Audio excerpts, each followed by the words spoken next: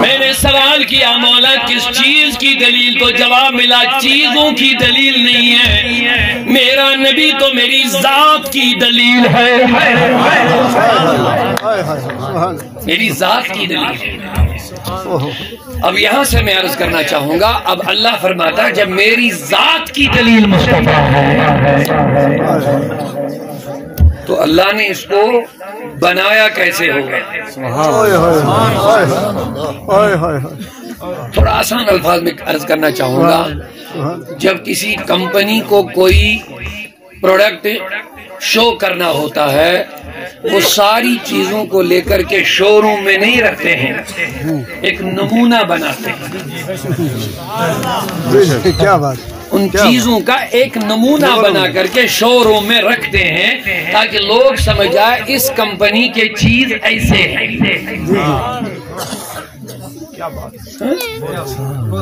और जितनी कंपनियाँ जितने कारखाने उतने नमूने। हो।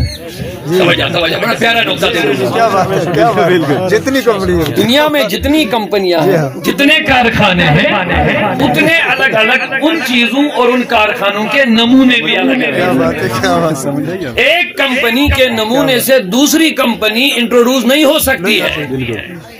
उस कंपनी का नमूना अपनी ही कंपनी का तारुफ करा सकते हैं दूसरी कंपनी के चीज़ों का तारुफ नहीं यानी हर एक कंपनी हर एक कारखाने का अलग अलग नमूना है। सैंपल अलग अलग है लेकिन अल्लाह कहता मेरा सारा कारखाना। बोलो बोलो बोलो। मेरे कारखाने में जो कुछ है इसके लिए अलग अलग नमूने नहीं है।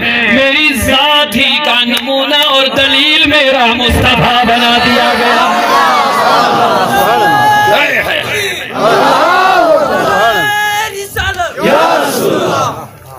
सुभान अल्लाह सुभान अल्लाह सुभान अल्लाह क्या बात खुदाई को समझने के लिए अलग अलग कारखानों पे जाने की ज़रूरत नहीं है। अलग अलग नमूने देखने की ज़रूरत नहीं है। अलग अलग सिंबल देखने की ज़रूरत नहीं है। क्योंकि रब ने फरमा दिया मेरे नबी अब कोई नबी नहीं आएगा। आपसे पहले नबी आते रहे नबी। वो अलग अलग नमूने नमूने लेते आए, वो मेरी कुदरत के नमूने देते गए। अलग अलग चीज़ों की दलीलें पेश करते रहे। मेरे नबी, अब तेरे बाद कोई नबी नहीं। लिहाजा कोई नमूना लाने वाला भी नहीं होगा, कोई दलील भी नहीं होगी। अब सुबह कयामत तक जितनी चैलेंजेस खड़े हो जाएँगे, उन सारे दावों और चलीजों के लिए तुम तनहा एक दलील हो, या रसूल अल्लाह सुभान अल्लाह यहाँ तक आप समझ गए? खुदा की दलील है मुस्तफ़ा। अब अलग अलग वजाहत में नहीं जाऊँगा। मैं अर्ज़ करूँगा रब के इल्म की दलील मुस्तफ़ा। रब के इल्म की दलील मुस्तफ़ा। कहीं अल्लाह बैठता तो नहीं आ जाएगा देखो मेरा इल्म क्या है। किसी मस्जिद में खानका में मदरसे में पहाड़ की चोटी पर नहीं ना बैठता अल्लाह। आओ लोगों मेरा इल्म देखो। लेकिन अल्लाह आलिम है। आलिम गैबी व शहादा है। हाँ? आलिम। लेकिन कैसे समझे अल्लाह का इलम क्या है? कहता, तुम तुम्हारी मजाल नहीं कि खुदा का इल्म समझोगे? मैंने कहा, मौला, फिर कैसे समझ में आ जाए तो कहता, मेरे नबी का इल्म देखो, क्योंकि नबी का इल्म मेरे इल्म की दलील है। तुम्हें रब का इल्म समझ में आ जाएगा। और आप गौर भी कर लीजिए जल्दी से। आज उल्टा उल्टा ही चला उल्टा ही मामला चला है कि लोग इसी दलील में नुकुस निकालने लगे, जो रब की दलील है।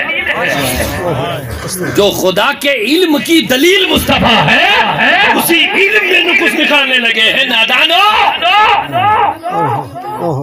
इल्म रसूल में नुक्स निकालना कमी निकालना ये हुजूर की कमी और नुक्स नहीं है सीधे खुदा का नुक्स बयान कर रहे हो क्योंकि रब कहता है हुजूर कुछ अलग नहीं है ये मेरे इल्म की दलील बन के दुनिया में आया हुआ सुभान ओहो ओहो तो अब अगर दलील में कोई कमी पाई जाएगी महाज अल्लाह ये तो दावा ही खराब हो जाएगा। दावा ही खराब हो जाएगा दावे पे असर आ जाएगा। आ जाएगा आ जाएगा। दावा मुतासर हो जाएगा लिहाजा दलील मुकम्मल होनी चाहिए। और वो भी जब रब किसी को कहे ये मेरी दलील है। अल्लाह अल्लाह सुभान अल्लाह। सुभान जब रब किसी को कहे ये मेरी दलील है तो ये दलील कितनी ठोस और मज़बूत होनी चाहिए। ओहो ओए समझा है मेरी तरफ़ से जी जी। ये दलील कितनी ठोस और मज़बूत होनी चाहिए यानी किसी किस्म की कमी का इम्कान नुक्स का इम्कान नहीं है। नहीं है नहीं है मैं तफसील में जाने के बगैर ही मुख्तर जल्दी से आगे बढ़ता जा रहा हूँ अर्ज़ करता जा रहा हूँ। ऊँचा बोलिए अब सुबह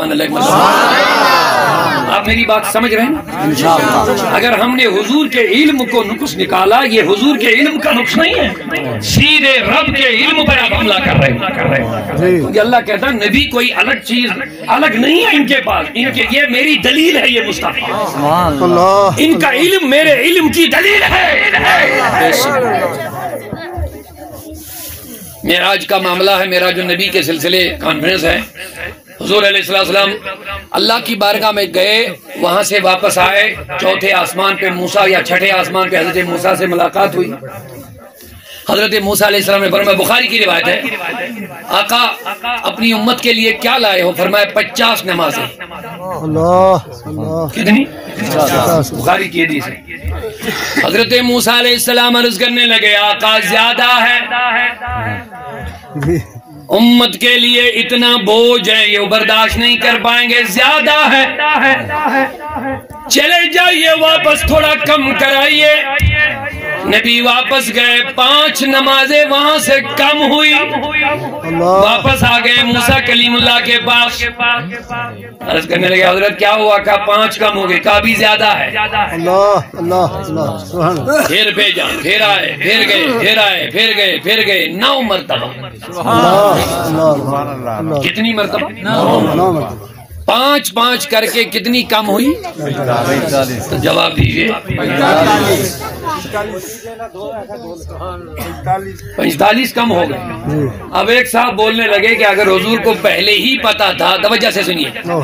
इल्म रसूल की बात कर रहा हूँ अगर हजूर को पहले ही से पता था, मुझे लास्ट में सिर्फ़ पाँच नवाजे लेना है तो पहले ही पाँच क्यों नहीं तो इसका ये मतलब है हजूर को पहले से पता नहीं था मैंने कहा बच्चे ठीक तो सवाल किया लेकिन मेरा भी सवाल सुन लिया जी जी। इसीलिए मैंने कहा ना हुजूर पे हमला करोगे हुजूर पे नहीं सीधे अल्लाह पे हमला हो जाएगा।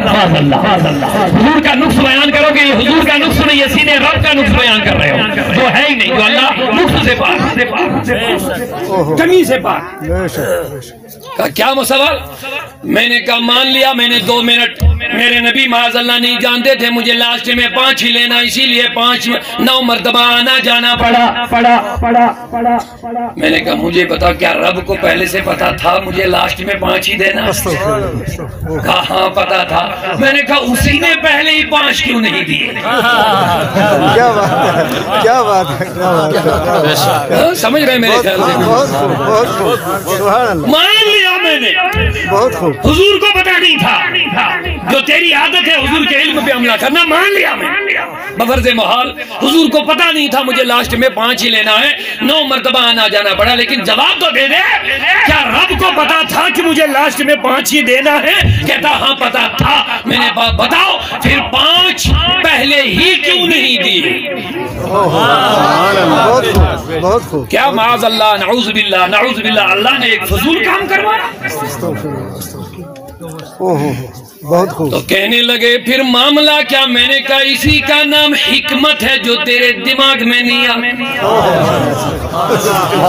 जो तेरी समझ में नहीं। कहा हिकमत क्या? मैंने कहा हिकमत मुझसे न पूछना मूसा सलाम से पूछना। बोलो बोलो हिकमत क्या है? नौ क्यों आना जाना पड़ा? ये हिकमत का सवाल मुझसे न करना। ये सवाल उसी से करना जो बीच में नबी आ गए, चुनो जिनके ज़रिए से हजूर नौ मरतबा गए और आए। तो मैंने जब हज़रत मूसा से सवाल किया तो उधर से जवाब मिलता है, ओ सवाल करने वालों, दरअसल मैंने अपने जमाने में हजूर अल्लाह की बारगाह में अर्ज़ किया था। मेरे मौला मुझे दीदार से नवाज़, अल्लाह तू मुझे नहीं देख पाएगा। मैंने सवाल किया था, जब मैं न देखूँ तो कौन देखे? उधर से जवाब मिला, न तू देखे। न चश्मे अंबिया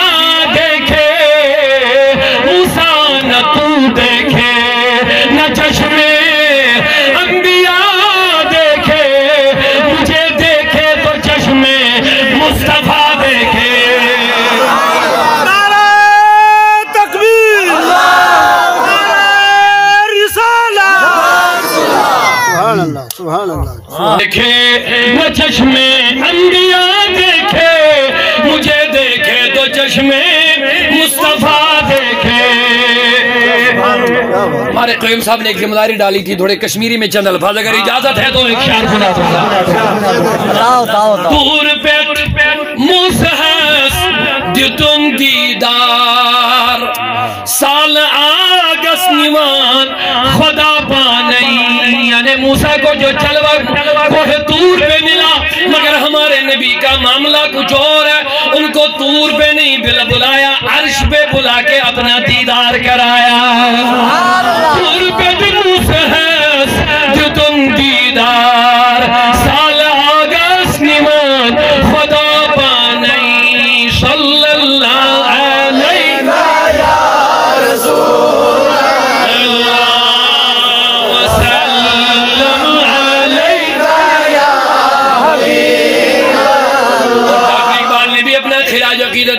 किया कि तूर और मेराज के किस्सा से होता है आया आया तूर और मेराज के किस्सा से होता है आया अपना जाना और है, उनका बुलाना और है सुभान अल्लाह सुभान अल्लाह ओए तो हज़रत मूसा कलीमुल्लाह फरमाते हैं मैंने अर्ज़ किया था मौला मुझे दीदार दे। उधर से जवाब मिला कि नहीं कर पाओगे। मैंने कहा मौला फिर कैसे?